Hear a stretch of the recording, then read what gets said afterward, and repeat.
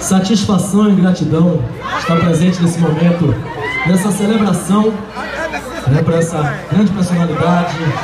E o Lodum tem uma relação muito forte, muito importante. Né, os conselhos, ensinamentos de Estela que foi homenageada por nós, né, com o troféu Jama. É Estela que tanto aconselhou o Lodum durante essa trajetória de 36 anos, 36, é, 36 anos de luta, resistência.